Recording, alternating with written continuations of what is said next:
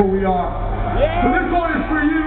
Have some fun. Let some aggression out in a positive way. Just remember, everybody leaves with a smile on their face. I think you know this one. Are you ready?